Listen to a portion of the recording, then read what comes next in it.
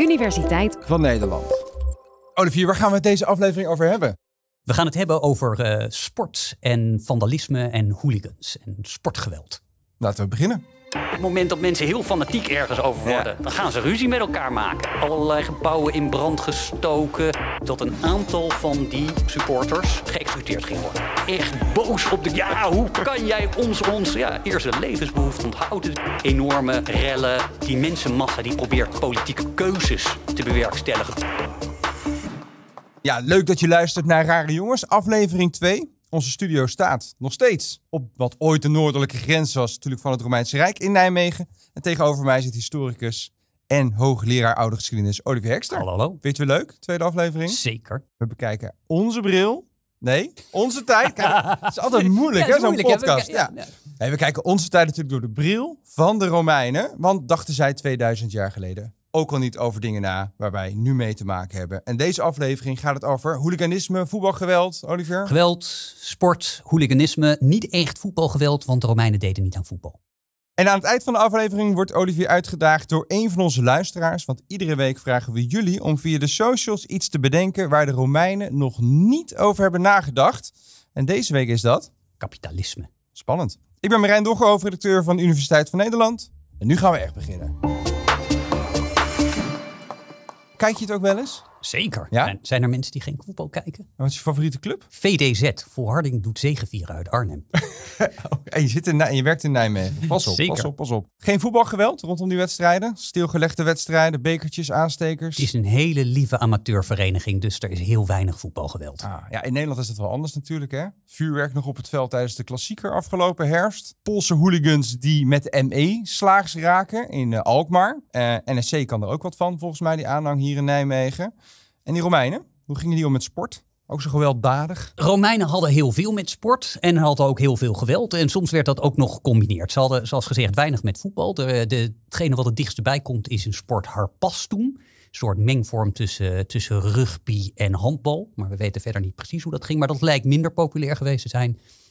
Populaire sporten in de Romeinse tijd heb je het over de, de beroemde gladiatorengevechten, de wagenrennen en wat ook ontzettend populair was, dus minder een sport, maar een beetje een sport, was uh, pantomime en theater. Cirque du Soleil-achtig uh, acrobatiek. Maar dat waren echt hele populaire sporten waar grote groepen naartoe kwamen. En als hele grote uh, groepen bij elkaar komen en daar heel enthousiast over dingen worden, dan komt er best wel vaak geweld bij. En dat was bij de Romeinen ook zo. Wagenrennen, zullen we daarmee beginnen? Wagenrennen, het grote tijdverdrijf. En dan konden er ook 50, 80.000 mensen, 200.000 mensen misschien wel in het Circus Maximus in Rome tegelijkertijd naar zulke wagenrennen komen kijken. Oké, want even het wagenrennen was dus gewoon een circuit eigenlijk? Ja. In, midden in de stad? de, de wagenrennen waren redelijk centraal. Dat is, is, op zich ook interessant, want nou, we gaan het straks nog over gladiatorengevechten hebben die... Uh, die amfitheaters die lagen voor een groot deel aan de rand van de stad. Juist ook om als je hele grote groepen hebt te voorkomen dat hele grote groepen in het centrum van je, macht, van je, van je stad bij elkaar komen. De circussen die lagen best wel centraal. Hier een hele andere reden heeft er ook mee te maken dat die circussen vaak verbonden waren aan het paleis, zodat de keizer kon laten zien dat hij grote wagenrennen voor zijn burgers gaf. En dat is dan een, een, een, gift aan je mensen. Dus dan moeten die circussen ook verbonden zijn aan het paleis. En het, het ging er gewoon om wie het snelst een bepaald aantal ronden rende. Dat, dat is zo simpel was het. Zo simpel is het. Was het een individuele sport? Want ik neem aan, bij wagenrennen ga je niet met een team zitten. Uh, bij die wagenrennen heb je de wagenmenner, die natuurlijk de grote sportheld is. Dus diegene die daar in die, uh, in die wagen staat en zijn paarden aanvoert en weet hoe die de bochten moet aansnijden. Of hoe je dat ook doet. Ik heb zelf nooit wagen gemend.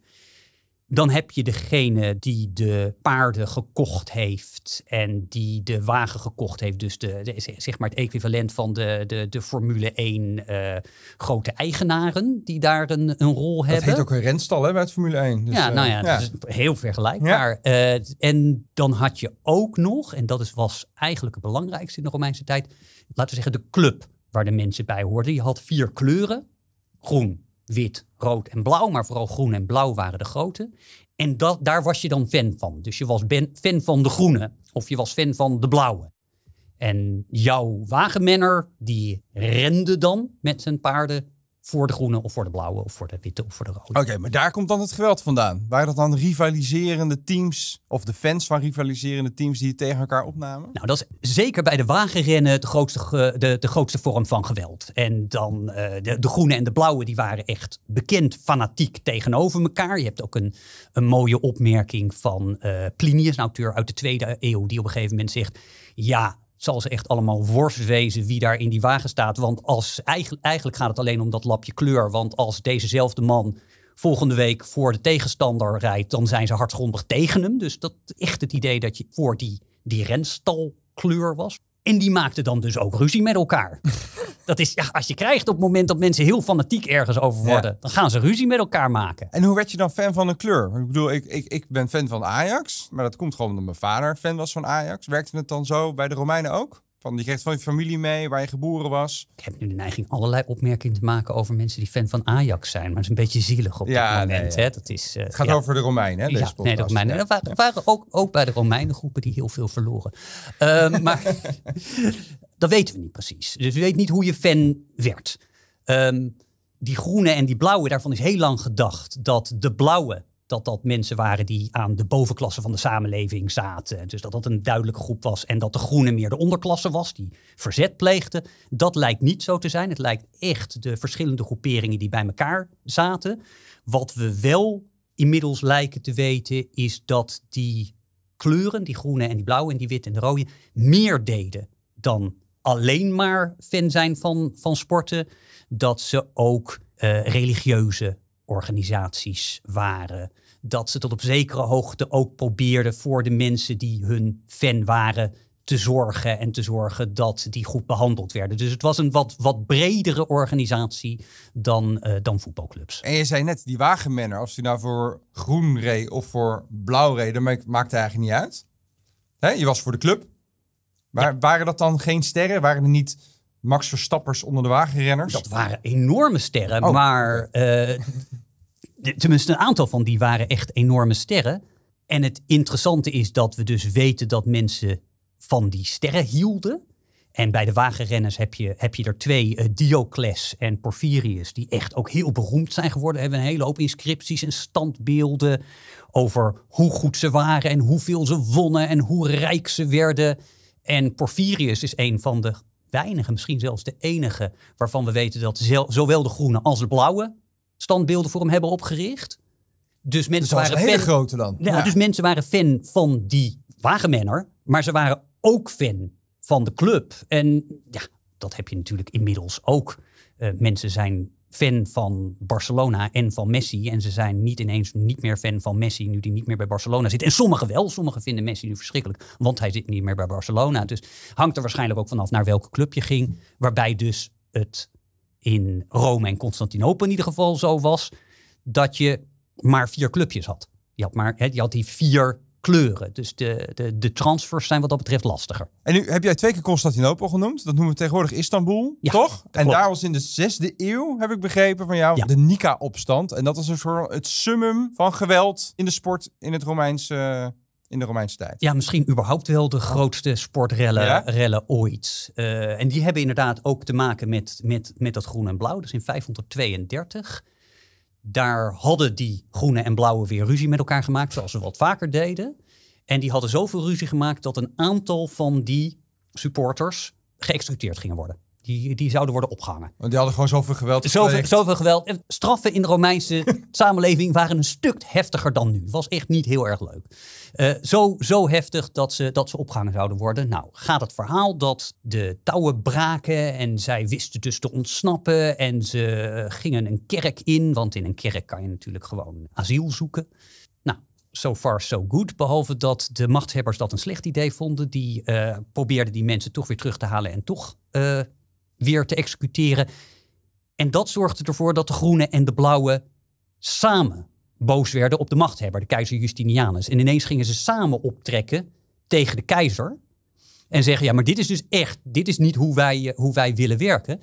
En gingen dus echt met tienduizenden mensen dwars door Constantinopel trekken. Hebben daar allerlei gebouwen in brand gestoken.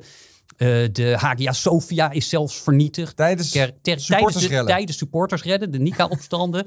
ging zelfs zo ver dat de keizer dacht, nou ik moet aftreden. Want als al die supporters samen boos op mij zijn, dan heb ik een probleem. Volgens de teksten die we erover hebben, twijfelde die echt of hij ging aftreden, heeft zijn vrouw Theodora daar gezegd, nou ben jij helemaal gek, jij gaat wat doen. Vervolgens heeft hij tegen de uh, groen en de blauw gezegd, nee, nou we moeten toch tot een compromis komen. Komen jullie allemaal naar het theater? Nou, die kwamen naar het theater en toen heeft hij het leger erop losgelaten en er 30.000 doodgemaakt. En toen was de opstand wel neergeslagen. Uh, maar, maar, maar heftiger dan dat denk ik dat we ze niet krijgen. En hij was zelf voor de gele zeker, of niet? Kon je een kant kiezen als keizer? Je, je, kon een kant kiezen als keizer, was natuurlijk best een probleem. En dat is hetzelfde als je nu ziet dat uh, moderne politici, je, sommigen durven Ajax, uh, Feyenoord of soms zelfs PSV te zeggen. Maar, maar het, is, het is veel makkelijker om te zeggen dat je fan bent van, van Hercules, zeg ik nu tegen de Ajax supporter die tegenover mij zit. Want dat is, dat is veilig, niemand kan het je kwalijk nemen. Dus het, het is makkelijker om, om de rode of de witte, of op een gegeven moment een, een gouden, uh, te supporten. Want dan vervreemd je in ieder geval niet de andere groeperingen van je. Het is sympathiek zelfs misschien, als je de kleine club sponsort. Of sponsort, support. Ja, aan de andere kant, als je een grote club weet te supporten, dan heb je natuurlijk ook wel een hele grote groep die jou ook weer fijn vindt. Dus dat is, uh, dat is een balanceeract zoals het altijd is op het moment dat je met, uh, met sport te maken hebt als politicus. Hey, dat geweld, dat was dus ook in dit geval werd het politiek, omdat die keizer erbij betrokken wordt. Was, was het vaker politiek geweld? Ja, je hebt als je naar geweld rond sport en, en theater in de Romeinse tijd kijkt, eigenlijk twee, twee types geweld. Je hebt het geweld dat echt te maken heeft met dingen die met die sportwedstrijd samenhangen. En je hebt geweld dat politieker is en dat vooral ermee te maken heeft dat je hier een moment hebt waarin tienduizenden mensen samen zitten en samen ook iets kunnen zeggen. Dus voor die, die, eerste, die eerste groep is eigenlijk zeldzamer. Dus die uh, geweld vanwege het sport zelf, dat is, dat zeldzamer. We hebben bij de gladiatorengevechten een opstand in, en nu moet ik even de datum opzoeken, want volgens mij is het 52, maar dat weet ik niet zeker. Ja, zoek, het rustig op. 59. Kijk. Straks zomaar zeven jaar mis. Uh, dus de geweld rondom sport dat echt met het sportdeel te maken heeft, zijn eigenlijk zeldzamer. Je hebt uh, gladiatorengevechten die tot rellen leiden in 59 in Pompeii, waar we van weten. En zelfs dat had er meer te maken dat in dat amfitheater van Pompeii mensen van Pompeii en een stad in de buurt bij elkaar zaten en ruzie met elkaar kregen over wie de betere gladiatoren waren. En eerst begonnen tegen elkaar te schelden en toen begonnen stenen te gooien en toen begonnen nog heftiger op elkaar in te slaan. En dat leidde tot echt enorme rellen, uh, een aantal doden. De mensen in Pompeii die wonnen, want die waren met meer, want die waren in Pompeii.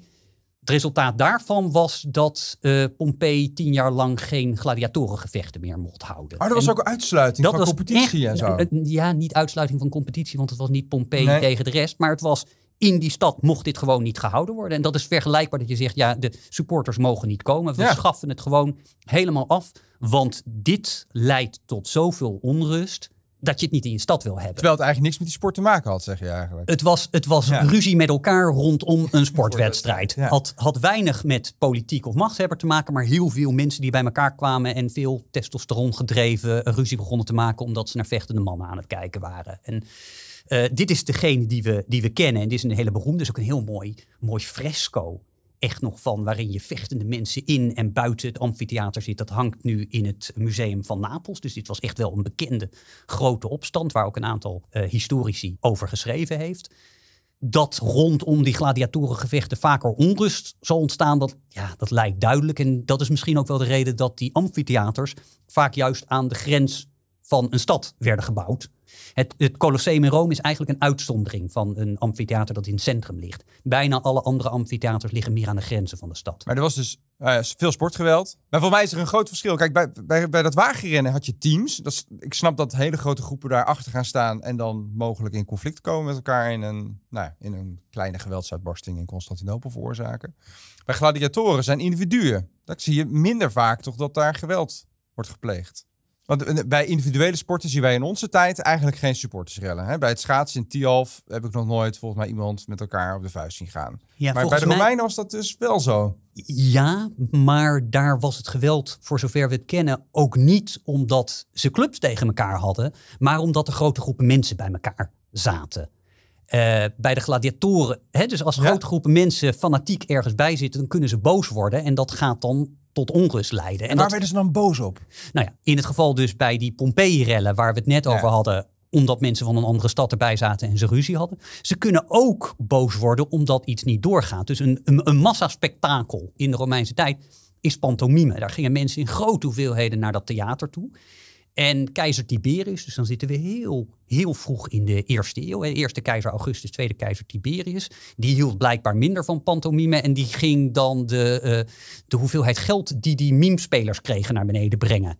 Uh, waarna die meme, ja, bezuinigen. Die meme-spelers gingen vervolgens staken. Die hadden geen zin dit te doen. Dus dan ging de voorstelling niet door. Nou, een voorstelling niet doorgaat met grote hoeveelheden mensen die daar in zo'n theater zitten. En dan komt de meme-speler niet dat leidt ook tot geweldsuitbarstingen. En daar weten we dus echt, dat zijn de meme-rellen, waarin mensen echt boos op de... Ja, hoe kan jij ons, ons... Ja, eerste levensbehoefte natuurlijk, dat je pantomime kan kijken. Uh, dat werd onthouden, dus die gingen daar dwars door Rome trekken. En dat is ook een type geweldsuitbarsting. Dus dat is, is een iets andere vorm. Dat is meer gericht eigenlijk op het leiderschap van de stad. Ja, en dat hebben we sowieso heel veel. En uh, dat heeft er dus mee te maken dat zeker in de Romeinse keizertijd is de enige manier waarop je als groepering die keizer kan bereiken, is als je met heel veel mensen bij elkaar zit. Dus als jij met z'n vijftigduizenden in een amfitheater zit, zeker als de keizer daar zelf ook bij zit, en je zegt, wij willen dat de prijs van het brood naar beneden gaat,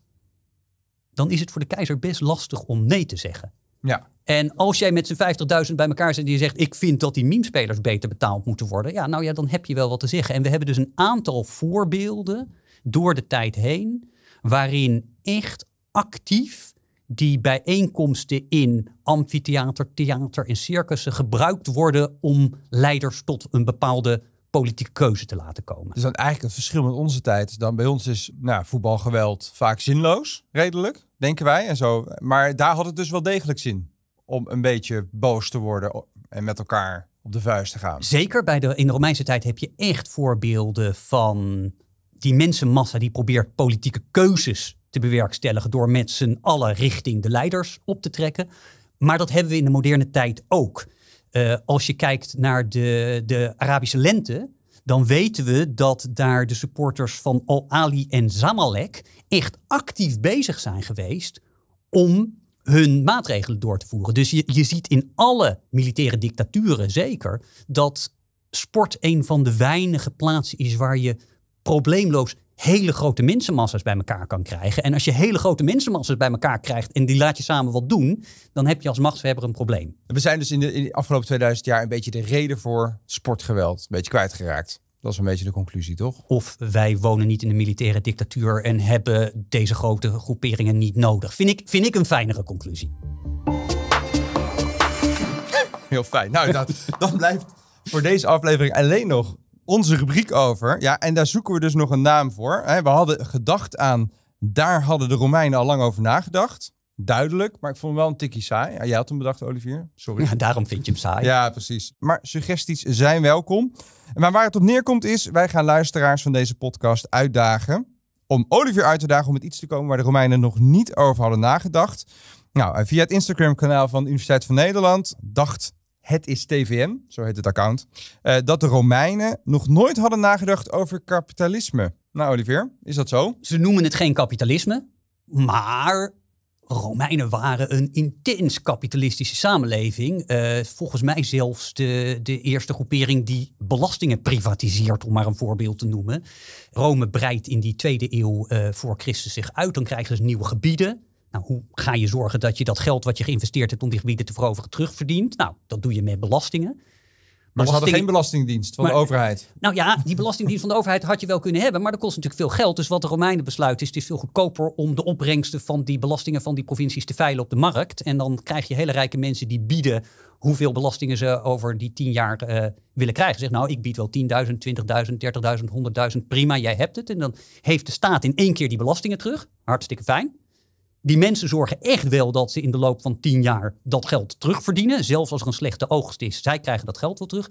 Heel slecht nieuws voor de mensen die in de provincies wonen. Maar dit is natuurlijk een intens liberaal-kapitalistische manier van werken. En er zijn veel meer manieren waarin je ziet dat er handelskapitalisme is. Grote winst wordt gemaakt uit het binnenhalen uh, van, uh, van producten. Heel ver, een grote handel met India, waar we ook weer belastingen op heffen. Dus echt wel systemen die voor ons kapitalistisch zijn. Uh, maar volgens mij kunnen we daar zelfs een hele aflevering over bezig gaan. Nou, we hebben nog even dit seizoen. Dus, uh, en we gaan over het kapitalisme een beetje doorpraten. Namelijk volgende week. Want dan gaan we het hebben over... Vermogensongelijkheid. Inkomensongelijkheid. Rijk en arm, toch? Want daar werd toen ook al over gediscussieerd. Nou, en denk jij nou dat je ook nog iets briljants hebt bedacht waar de Romeinen nog niet over hebben nagedacht? En luister via Spotify, dan kan je Olivier gelijk uitdagen via het formulier bij de podcast en anders via de link in de show notes. Nou, dit was Rare Jongens. Aflevering 2 staat er alweer op, uh, Olivier. Helemaal goed. Vond je het leuk? Altijd leuk. Ik hoop dat de luisteraar het ook leuk vindt. En niet vergeet om je te abonneren. Dan hoor je Olivier en mij vanzelf weer in je oortjes. Tot binnenkort.